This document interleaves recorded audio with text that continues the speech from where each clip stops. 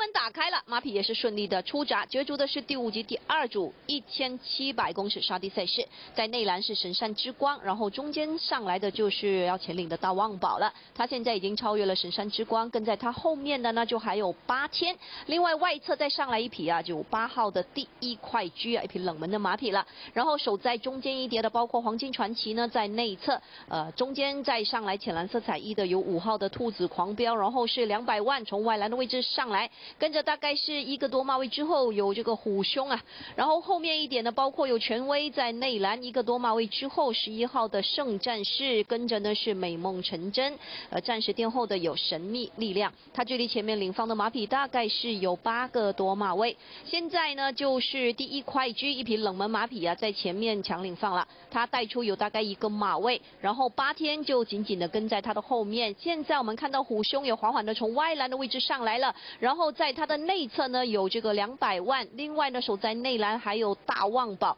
接着中间一叠的马匹呢就包括有神山之光，然后呢是兔子狂飙在外面，在里面的是黄金传奇啊，外侧呢开始在那边一直打边呢就有圣战士啊，然后浅蓝色彩衣的是神秘力量，然后后面再上来的还有美梦成真跟权威，转入这个直城的时候呢，哇哦，现在前面有四匹马在斗了，先看到虎兄，虎兄呢在外栏的位置。走的不错，然后他旁边再杀上来一匹神山之光，啊，虎兄，虎兄神山之光里面呢就还有这个第一快驹也在动，啊，但是呢现在先出头的是二号的神山之光，里面还有一匹大旺宝，大旺宝的走势很好，大旺宝，大旺宝跟神山之光非常的接近，然后有兔子狂飙，然后还有虎兄，再来其他马匹呢就包括有四号两百万啊，然后呢是三号的八天，跟着呢还有第一快驹黄金传奇，然后呢是。是圣战士，美梦成真，接着是神秘力量，还有权威。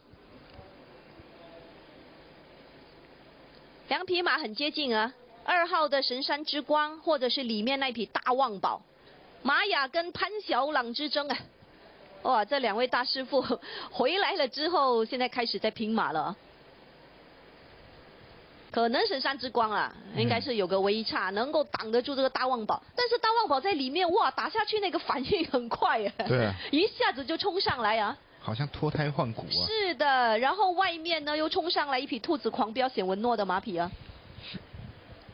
结果三位大师傅在斗的同时，肖宝慧，哎呀，没办法处在下风，他的虎兄应该是争个第四名吧。不过四匹马都很接近，我们稍后看照片。是啊，何止肖宝慧啊，陆凯恒都。骑到崩溃啊！这场虽然是第二组啊，但是碰到。